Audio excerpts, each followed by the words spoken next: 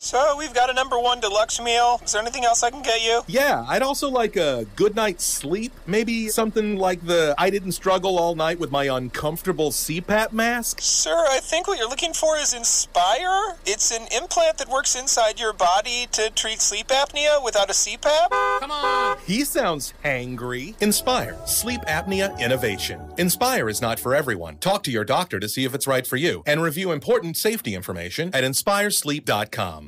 And good evening. This is Mottek on Money. I'm Frank Mottek, and we're doing it live right here, weeknights, in our new 5 o'clock hour here in Los Angeles. Mottek on Money, five nights a week for you, live on the air here in 790 KABC, streaming live online worldwide at kabc.com. And the on demand Mottek on Money podcast for you at kabc.com, Apple, iTunes, all your favorite podcast platforms. And we're on the socials too at Frank Mottek on X, formerly known as Twitter, and Instagram, and a little bit on threads too. Well, stocks ended higher today ahead of the big Fed announcement tomorrow, with the Dow recording 12th, 12th day of gains, while investors are taking in the big tech company earnings after the closing bell and awaiting the Fed's interest rate decision tomorrow. It's widely expected the Fed will be hiking short-term interest rates by another quarter percentage point. A lot happening in the news today. Uh, it's a the hot labor summer continues. Big news on the labor front with UPS reaching a tentative deal with its 340,000 person union, the Teamsters, potentially averting a strike that threatened to disrupt package deliveries for millions of businesses and households nationwide. SAG AFTRA's and the WGA continue to hit the picket lines in front of the studios here in Hollywood. Hollywood basically still shut down as both of those strikes continue. Kaiser Permanente, meanwhile, healthcare workers are set to hit the picket lines tomorrow morning. This coming as workers have been without contracts, which expired three months ago. We'll continue to follow that big story. In fact, I'll talk about it, and I'll talk about it tonight with Mark Wilbur, one of the giants here on the business scene. Mark Wilbur, the chairman of Employers Group, former chairman of the Los Angeles County Business Federation, LA BizFed, and former associate dean of the USC Marshall School of Business. What's the latest on real estate? We'll get an update tonight from a giant in the Beverly Hills real estate business, luxury real estate agent extraordinaire Aaron Kirman. The star of the TV show Listing Impossible will be joining me live later this hour to talk about what's happening on the real estate scene. As far as the stock market goes, we see the Dow ended up 27 points, and yes, 12 winners in a row now. The S&P 500 of 13. The Nasdaq finished up 86 points. After the closing bell, a lot of news as well here with Microsoft and Visa coming in uh, with earnings. Uh, we saw that uh, Coca-Cola and Boeing also among those Dow components presenting their numbers uh, tomorrow. We'll be watching for that. Another uh, big story in the uh, banking space. Uh, we see a major announcement here after the closing bell today. PacWest Bancorp stock up more than 38% in after hours trading after the company said it agreed to be acquired by Banc of California. This is an all stock merger backed by two private equity firms. The merger comes as PacWest looks to put a tough uh, time behind it. Under the terms of the deal, PacWest stockholders will receive 0.657 shares of Banc of California common stock. And it looks like this new combined bank will be based in Beverly Hills. Banc of California CEO Gerald Wolff will retain the same role at the combined company. That is big in the banking news, and uh, consumers reporting uh, there are problems at JP Morgan Chase today, the largest bank in the U.S.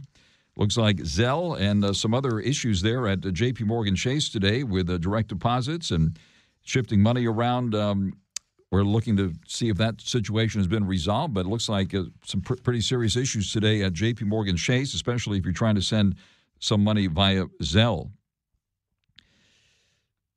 Right now, let's bring in on the markets, the economy, and the whole works tonight. Joining us live now is EJ Antoni, public finance economist at the Heritage Foundation, keeping an eye on what the Fed might do tomorrow, Bidenomics, uh, and the whole works. Uh, EJ, thank you very much uh, for coming to the line here. Certainly a lot going on here uh, in Hollywood on the labor front. We have the Fed meeting tomorrow. We have the stock market uh, rally here underway, and still a lot of concerns about uh, where this economy is heading, where inflation is heading. Give us your assessment of things here at the moment. Well, I actually wrote back in, I believe it was October, uh, sometime in the fall of last year, about how high periods of inflation are a key ingredient with labor unrest. And that's exactly what we have seen multiple times this year. You know, uh, these labor unions essentially negotiate deals believing that the dollar is going to maintain its purchasing power. And when it doesn't, that has a catastrophic result on workers' earnings, not just union workers, all workers in general. Uh, just last month, for example, the average American worker was paying an inflation tax effectively of $4.55 an hour. That basically has doubled the effective federal income tax rate again on the on the average American worker. I mean that's really devastating for a lot of people, but you know it, it does uh, it does I think illustrate that fundamental reality that inflation is a tax and it's a key part of Bidenomics. It's how the federal government has been funding all of these uh, allegedly unfunded government expenditures. On the live with E.J. Antoni, public finance economist at the Heritage Foundation. And let me ask you this: as uh, mortgage rates um, have been uh, well coming off a 20-year high uh, last year, but still relatively high, and of course uh, you have interest rates, especially credit card interest rates, pretty much at uh, record highs here. That's impacting consumers in a very big way. Every time I see a credit card bill with Delaware on it, I think of uh, President Biden, who's of course had represented Delaware in the Senate. What about the impact this is having on the consumer? These record high um, credit card interest rates. Well, it's it's no secret that Joe Biden for years uh, changed uh, a lot of pieces of legislation in order to create more favorable laws for those credit card companies, and that has resulted uh, in in a an incredible loss of protection to the American consumer. And one of the great ironies is that all of those changes were made in the name of protecting the American consumer, but what they actually did was increase the power of existing credit card companies by not allowing new entrants into the market. In other words, those regulations protected the very companies that they were, were allegedly going to go after and failed to protect the American people. And, and those American people are now in a situation where they are racking up credit card debt at, at record interest levels in order to pay for necessities. There are companies now that have been founded just within the last year or two to help people pay for groceries on installments. It's not yachts and caviar that are driving up these credit card balances for the vast majority of Americans. No, it's milk and bread. That is an excellent point, and it should also be noted. Uh, last time we saw inflation like this, uh, 40 years ago, a credit card interest was deductible, and that changed uh, back in the 80s. And and uh, whether uh, Senator Biden had anything to do with it, um, you could probably tell me. Uh, you know, I actually don't remember the vote the vote count on that one. Uh, but what I do know is that Joe Biden has done a lot of things uh, to, again to protect those same credit card companies. He's been involved with a lot of legislation that altered the regulations. Again, this was all done allegedly to protect American consumers. But instead, what it did was create such heavy regulatory burdens that only very large companies have the profit margins in order to, to actually shoulder those those burdens. And so, if you want to take a, a small company, maybe a small savings and loan uh, or a small regional bank, let's say, and you want to create a credit card arm of that institution, you simply can't because the regulatory costs are so high. That's a very interesting point. And speaking of the banks, uh, we see another uh, bank merger today. Uh, this one involving a, a, couple of California banks uh, with PacWest and Banc of California uh, coming together here uh, following all of the turmoil we saw in the regional banks earlier this year. give us your assessment of, what's going on with the banks here at the moment. And then today, J.P. Morgan Chase having an issue with with um, with getting money to people and so forth through their Zelle platform, and apparently um, uh, through the uh, the bank branches. Somebody just uh, texted me uh, and said their systems have been down since 10 o'clock uh, this morning. Uh, what about the banks here? you know, I'm very worried about the banking sector in general. Several of the large banks are actually very well positioned. ones like J.P. Morgan, Wells Fargo, they actually have relatively clean balance sheets. Bank of America is probably the one exception. Their balance sheet does not look very good right now. That's very troubling I'd be concerned if, if I was doing business with, with Bank of America. However, at the same time, uh, we have to acknowledge the fact that the Fed, the Treasury, the FDIC has basically taken the position that if anyone messes up badly enough, they're going to bail them out. That's exactly what we saw with with SVB, with Signature Bank, uh, and and several others. So this incredible mess that was created by the Fed, by the Treasury, where they they essentially mandated these banks take on a tremendous amount of what we call interest rate risk. Uh, that has that has borne its rotten fruit, and unfortunately, the American taxpayer is picking up the tab here for it.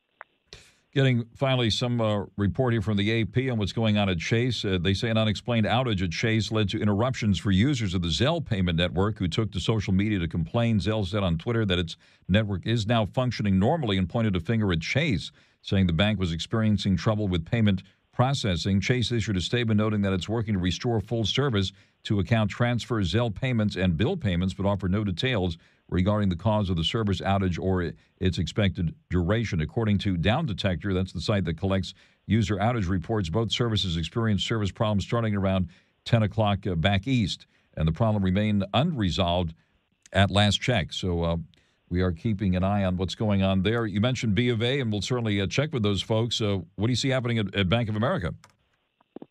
Uh, you know, unfortunately, Bank of America, along with a whole host of regional banks, have a lot of assets on their books, which, if they need to be sold today, are going to be sold at a loss. And so, what all of these banks are, are hoping is that they don't have to sell these assets, that they're mostly bonds, for example, or other securities.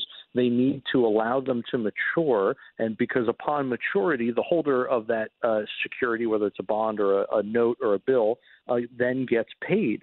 But the problem is the interest rate on these things is so low, and that because interest rates have climbed, the relationship of the price and the interest rate move in different directions. So as rates go up, the price of these old bonds has just just tanked, and we can expect the Fed is going to raise interest rates again this week. And what that's going to do is decrease the value of those bonds even more. So those uh, losses that these banks have on their balance sheets are going to get even worse. And so they are all hoping and praying they don't have to sell those bonds until maturity.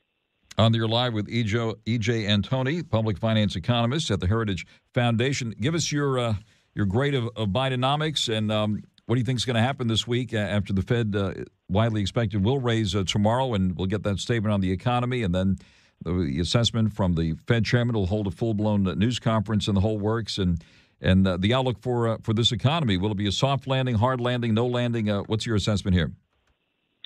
Well, there's no way you get a soft landing out of this. We we are heading uh, to a recession. We're heading quite quickly. Actually, the latest data uh, is pointing to about December for for the start of that. You know, now again, those data change on a pretty regular basis.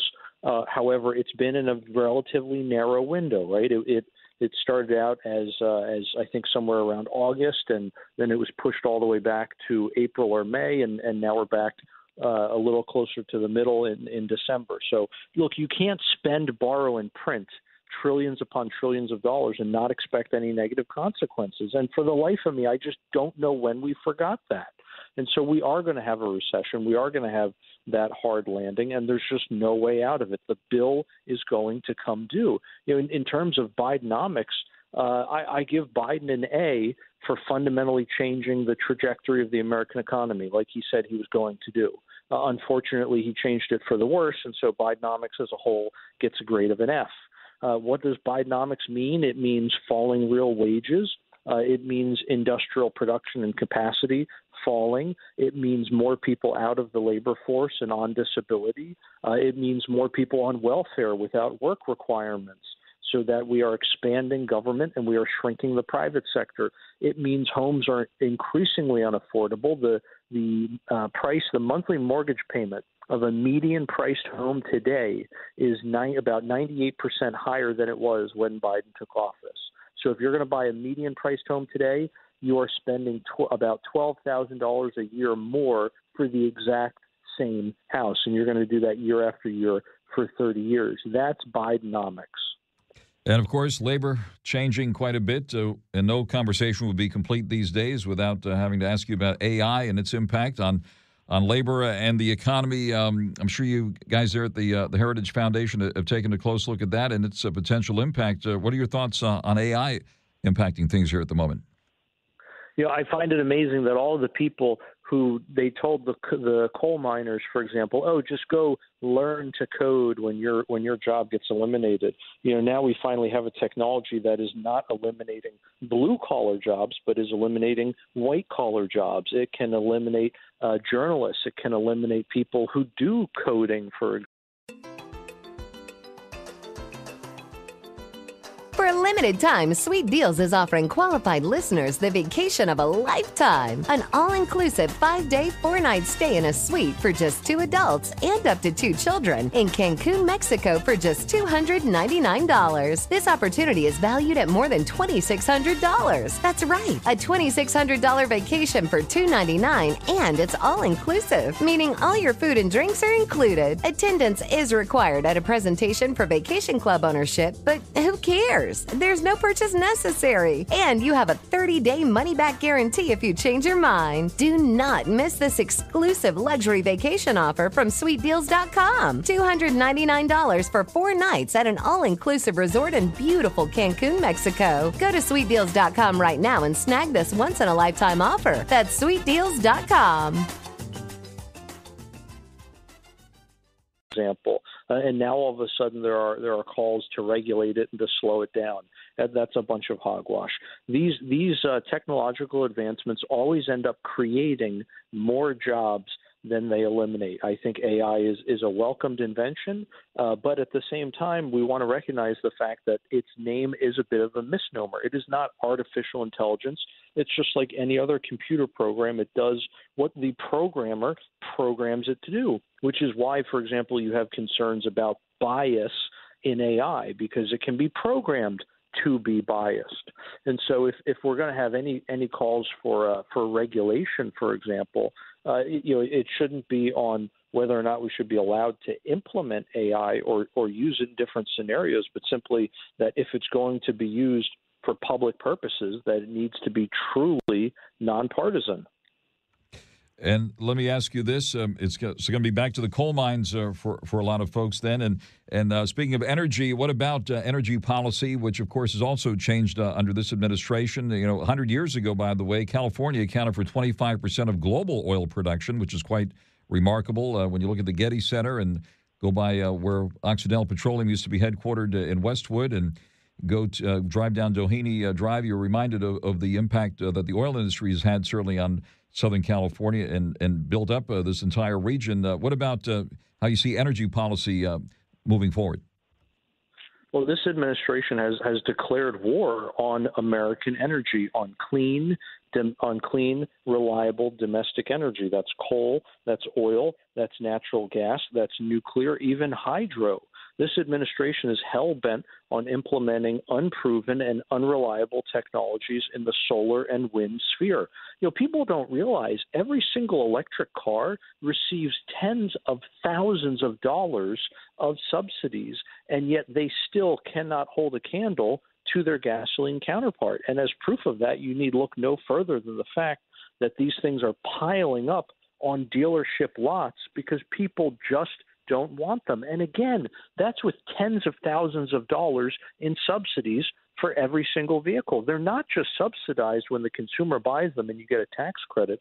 They're subsidized uh, when the dealer sells them. They're subsidized when they're built at the factory, and all of the component parts get subsidies as well. And yet Americans still don't want them. But that's just that's just one example. When you're talking about uh, things like gas stoves or a gasoline powered lawn equipment, for example, we run into the the exact same thing. Uh, the the government, whether it's the federal government or out in California, are trying to force American consumers to stop using products that they love, products that have drastically improved people's lives, and to abandon them and replace them with things that are not only unreliable but are much more controllable by bureaucrats. And we also see the exact same thing uh, when it comes to generating the electricity itself.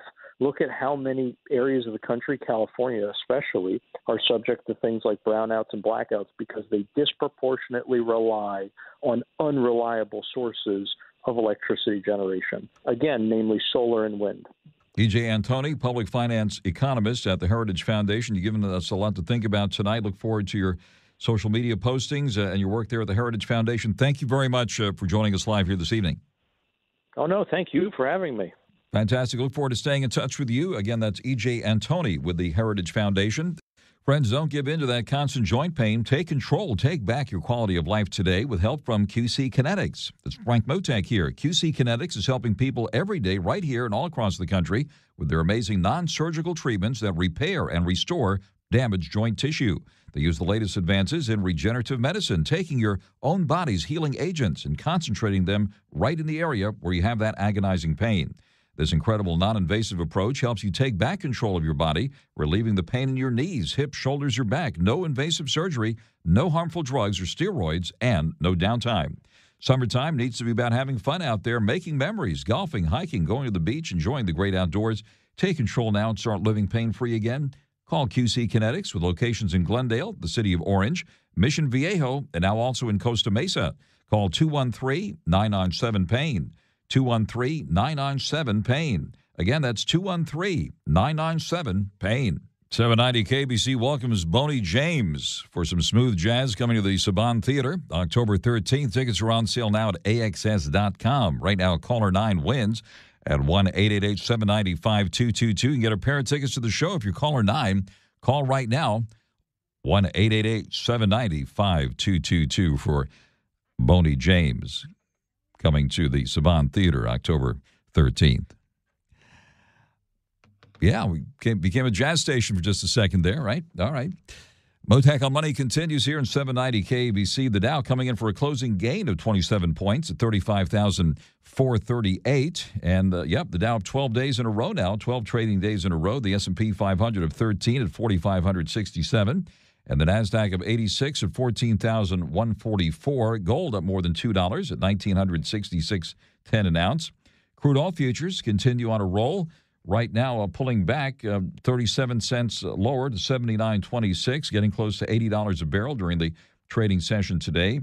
Shares of PacWest moving up 40% after Banc of California announced uh, they were buying up uh, PacWest in a, a big uh, merger in the banking sector impacting Southern California. It looks like the combined bank will be based in Beverly Hills. Earnings, of course, also a big part of the action today. General Electric shares finishing up more than 6% after second quarter results from that aerospace and renewable energy company topped expectations. Verizon shares up nearly 1% after that company topped profit expectations. GM shares down 3.5% lower after GM delivered better than expected second quarter earnings and raised its guidance. Spotify shares tumbling more than 14% after the streaming giant easily surpassed subscriber growth expectations for its latest quarter but failed to sport upside on its key financials, according to MarketWatch. After the bell, Microsoft easily topping profit and revenue expectations for its latest quarter, though its shares were moving down about 3% in after hours trading. In the cryptos, we see Bitcoin down about $30 now at 29,194, Ethereum down 6 at 1855, and Doge at 8 cents. Raytheon tumbling 10% today, its worst day in more than three years after that aerospace and defense giant said it needs to remove certain Pratt & Whitney jet engines from service for inspection. Mottek Money continues here on 790 KABC. We have some more information now about a big bank deal announced this afternoon. Banc of California and PacWest Bancorp will merge in an all-stock deal to create a bank with 36 billion in assets. That being announced this afternoon by both companies. They also raised 400 million dollars in equity from investors managed or advised by Warburg Pincus and Centerbridge Partners. According to Reuters, the combined bank will have about 25.3 billion in total loans and more than 70 branches here in California. It will be based here in the Los Angeles area and led by Banc of California CEO Jared Wolff, who previously served as PacWest General Counsel. Shares of PacWest plunged 27%, while Banc of California surged 10% after the Wall Street Journal reported news of this deal, citing people familiar with the situation. PacWest was among the lenders that was rocked by the collapse of three regional banks earlier this year, prompting the worst industry turmoil since the 2008 financial crisis. What's happening in the real estate world? Well, we're going to get a pretty important update now on what's happening especially on the high end real estate world. One of the giants in the real estate world is Aaron Kirman, based in Beverly Hills. And Aaron, thank you very, very much uh, for joining us here. Uh, also, star of uh, Listing Impossible. Thank you very much. It's been a while since we chatted behind live microphones, Aaron. Thank you very much for taking the call. Uh, Of course. Thanks for having me. Give us an update on what's happening out there in the real world. Oh, you know, it's been a crazy couple of uh, months, actually. Uh, as you know, uh, obviously the markets uh, took a major shift from where they once were a year ago. And it happened overnight with, you know, obviously inflation, interest rates, and uh, all the good stuff. So it's definitely been a, a very fun, challenging, interesting marketplace. Very interesting. Of course, uh, you soar with the Eagles uh, out there. What, what are some of the properties you're representing at the moment? Right now, we have uh, amazing properties. We have a $150 million property in Bel Air, gorgeous, modern, amazing views. Uh, we have what we call a castle on a hill. It's an $85 million property, 25,000 square feet. Uh, and then we have a lot of just amazing properties after that, uh, ranging in price from five million going to 150, and some of the most trophy properties uh, in LA. That is amazing. And what is entry level now in Beverly Hills, for example? Uh, you know, it depends where you are. Uh, you could get some nice condos for you know 2.5 mil. Uh, and then uh, it goes up from there. But uh, obviously, Beverly Hills is super expensive uh, and you know one of the most you know world class cities. Um, but you know, and, you know, if you're north of let's just say, say Santa Monica, a teardown house would cost you six million bucks right now, uh, and uh, it goes up from there. So you know, we have everything from the beautiful condos of two million up to two hundred million dollar palaces. Who's buying these days? Remember, I think when we last spoke, uh, Chinese buyers were, were a big factor, but that certainly has changed uh, over the years, right? Um, who's buying these places? You know what's really fun? Stacking Benjamins with Joe and his good friend OG not only has great financial insight, it's laid back with humor too. Mr. Len Penzo's here. Now, when I buy something, I'm like, can actually spend any time with this thing. Len, I would imagine you've got to think about that too when you're buying stuff. You know, before I was retired, if I wanted something, I bought it. I don't care what it was. The Kings were in the Stanley Cup Finals, and me and the Honeybee. I yeah. mean, we, we didn't even think about it. Thirty six hundred bucks on two tickets. Now that I'm retired, those days are gone. the Stacking Benjamin Show, available on YouTube or wherever you listen funny actually. Uh, it was mostly American money driving American sales for the past five, six years. When was the last time we spoke? How long was it? It's been a while. I don't remember. Funny, funny, enough, I was just going to say. Now you're famous. Oh, stop. No, funny enough, the Chinese are back. So I was just uh, telling somebody else. Uh, we have not seen a lot of Chinese money back, but uh, the last probably seven showings I've done have all been Chinese. So they are back with a vengeance. That's very interesting. Wow. So they uh, had disappeared for a while, but uh, they are back now. Uh, and um, are these deals being financed or are these cash deals at, at these levels? Obviously, we've seen the mortgage rates come off of 20 year highs last year. The Fed is about to raise probably rates again by another quarter percentage point. Yep. So the so the uh, short-term rates are, are going up. Um, how is this interest rate environment uh, impacting the, your uh, business?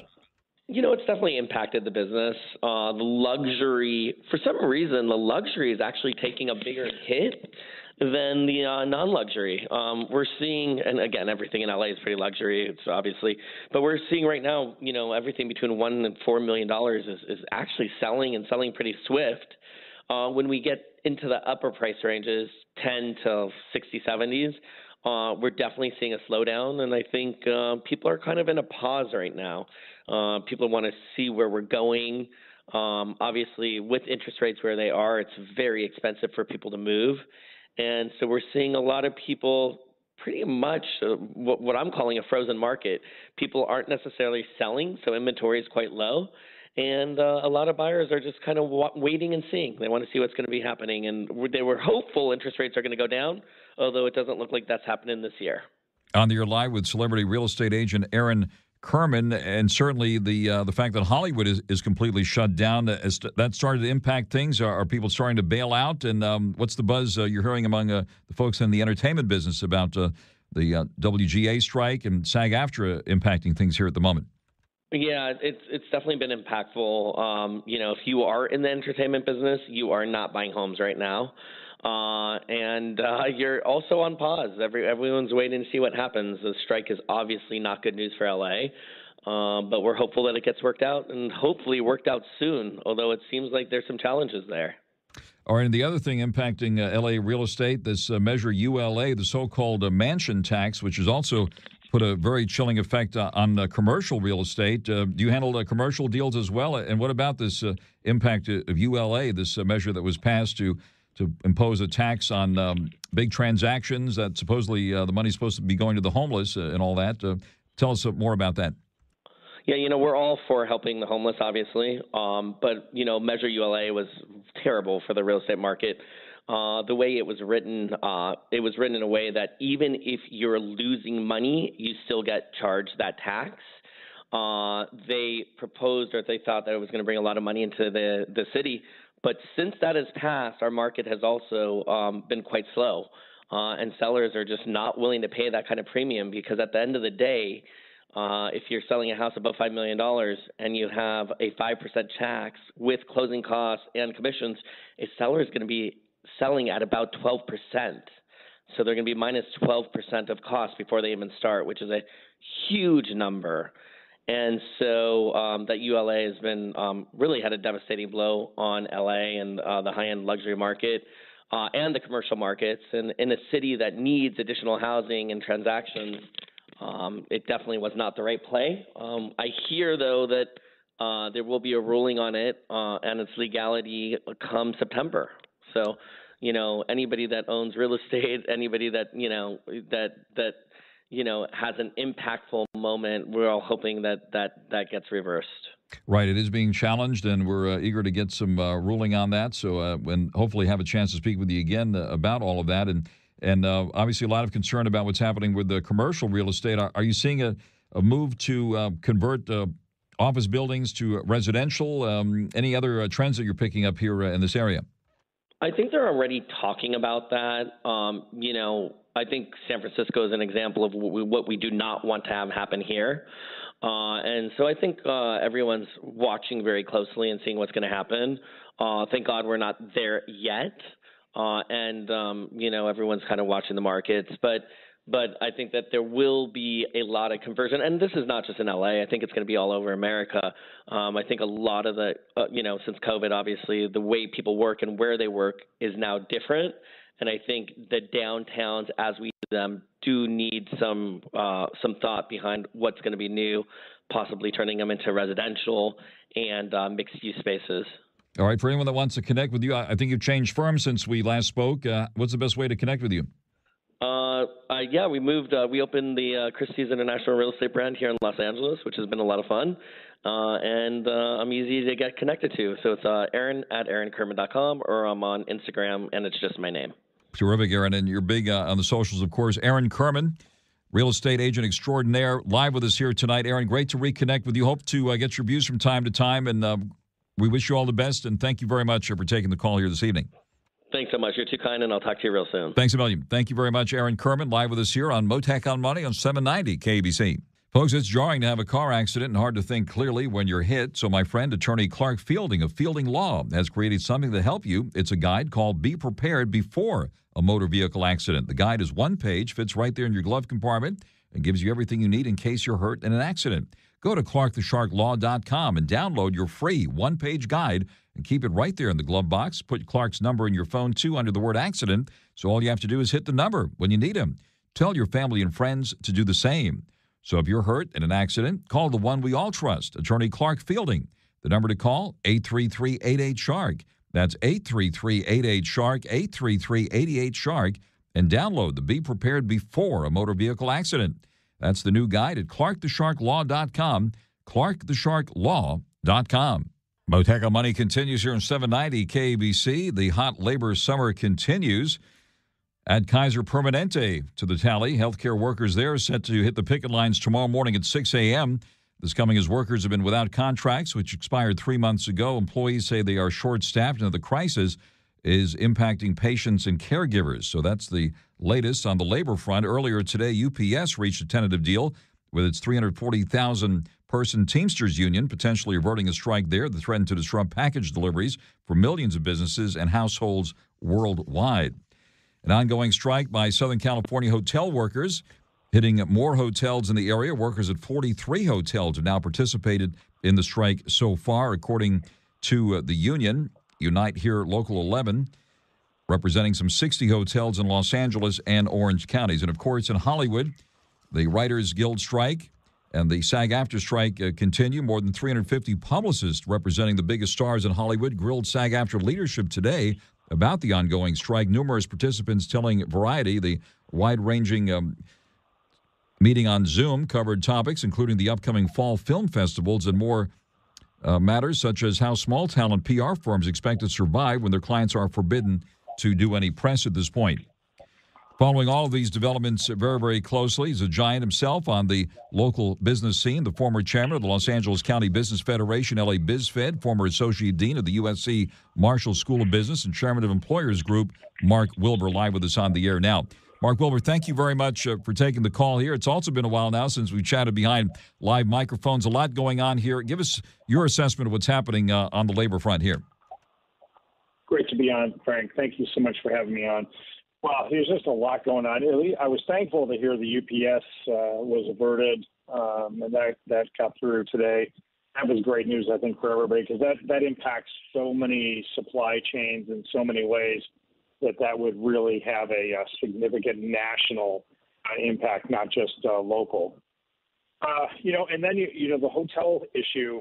It's interesting. The, the problem that that union's having is that there are too many choices in California lots of you know uh, replacement hotels to go and stay at, other places to go to. They're not on the front page anymore. Uh, it's noise on the side room, so they're just not you know getting that kind of pressure, and they're kind of in a quandary right now because you got to ask yourself how long you're going to keep pushing these people uh, without any pay and things like that. And of course, they always come in and want to get back pay and everything else. But at the end of the day, people want their rent. People need to eat people have kids to take care of and things like that. So uh, it, it's really um, that one. Uh, that one's a 50-50 bet as to whether or not it's going to have any impact at all at the end of the day. And I'm kind of concerned about all those folks that are being impacted by that. Certainly, I don't know if you saw Frank, but the Kaiser is going on strike tomorrow morning. I, I, a lot of people. It's one of these stories that's kind of under the radar with the UPS announcement today. But you know, Kaiser, that's a huge system, a medical system and they've been going for three months without a contract and still showing up to work and doing their thing. I'd like to see those people come to the table and get their act together. That just seems kind of dumb to me, to, to be honest. That is big, and uh, that'll be big news uh, first thing in the morning when um, Kaiser Permanente healthcare workers hit the uh, the picket lines uh, at six o'clock uh, tomorrow morning. And of course, uh, yeah. very visible in Hollywood right now, in front of all the major studios. you see the Writers Guild and and SAG-AFTRA's uh, on strike. Uh, Annette Bening was on the picket line um, driving by uh, Netflix today. I, I, saw her on Sunset Boulevard uh, doing an yeah. interview, and so uh, some of the biggest names in Hollywood now uh, joining in to support what's happening there. Um, Hollywood basically shut down. how do you expect yeah. this to play out, sir? Well, you know, SAG-AFTRA is kind of an interesting situation because you know you, you have all these A-listers that are getting on TV and you know and and um, singing from the hymnal about all this stuff. And and while I appreciate that because they're recognized, behind the scenes, what people don't understand is that these A-listers and the studios are getting production exemptions to continue productions on certain movies uh, and certain things that are underway. So, you know, I'd like to hear a better explanation of that because I, I think, you know, if you're unemployed, you're on the picket line, but, you know, A-lister goes back and is getting, you know, paid – uh, because they got an exemption to continue their production. I think that's an issue. The thing I'm most worried about is that, you know, I think over the last couple of years, we've seen the expansion of the number of people included in productions instead of having three or four, um, you know, top actors. There's like a lot more people involved in a lot of the productions. But what's going to happen is that, you know, eventually this will get settled and then it's going to be impacted through you know, hiring less expensive writers. It's going to be, you know, impacted through hiring less actors in a production. You know, writing writing uh, roles out of production, basically.